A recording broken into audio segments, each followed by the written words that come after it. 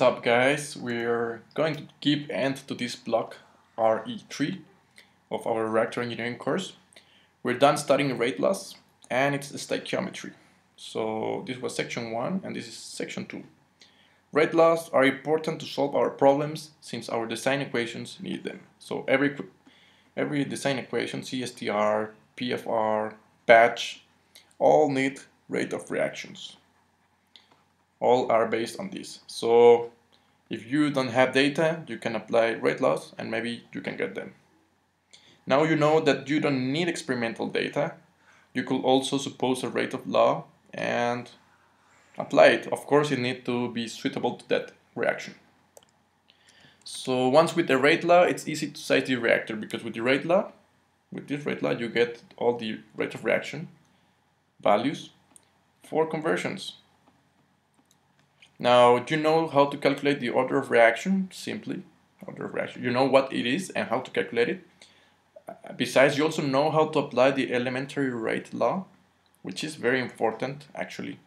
And you understand the importance of this, this constant k, the constant in the rate law, which is uh, supported by the Arrhenius equation.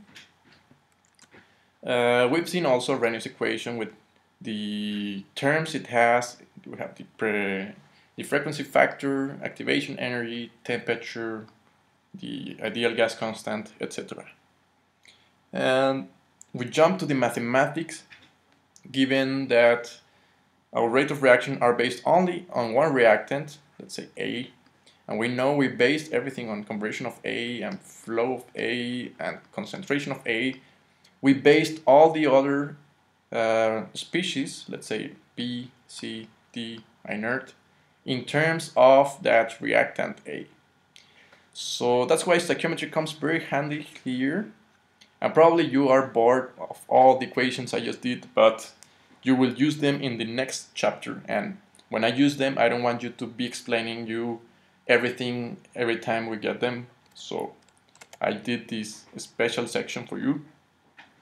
You now know there's a difference between the liquid phase and a gas phase because of the volumetric and or constant volumes. So you know that hopefully you always get liquid phases because these ones are easier to model than those of gas phase.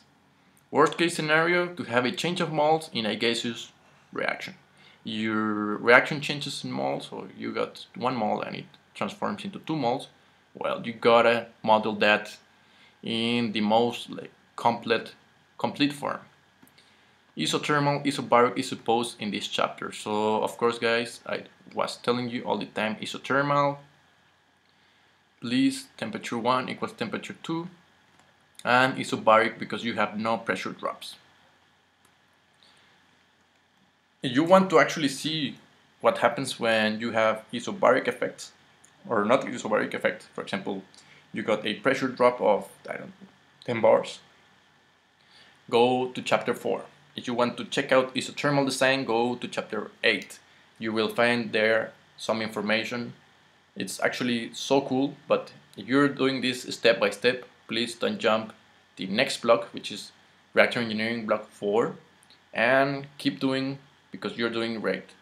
You're here by far, congratulations, because you are now able to go to chapter 4 for isothermal reactor design. So finally, you are going to do reactors not only size them, you can also calculate flows, flow rates, volumes, rate of reactions, etc.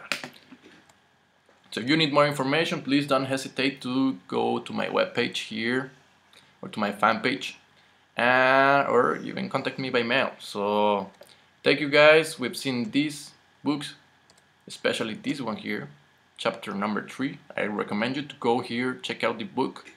It explains uh, very, very good. I really like it, so check it out. See you in the next block.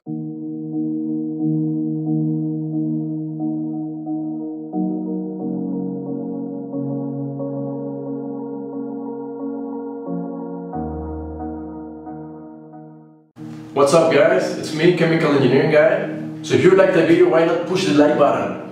It really helps me to know if you're liking the videos or if I should be changing something or I should be adding something, taking out content, whatever. Also, sharing is caring. So if you got any kind of friends, teachers, colleagues, or whatever kind of person that might be interested in this type of content, why not share it? Sharing helps our community to grow faster in members and in content.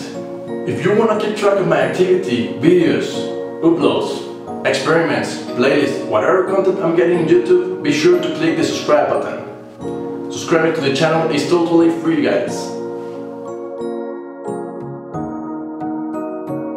My dream is to create an online academy of chemical engineering where everyone can access it in the world. Imagine a place in which the student, the teacher and the engineer get the best of each other